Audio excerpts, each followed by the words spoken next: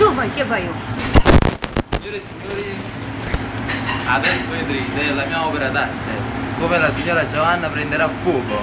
Seguite.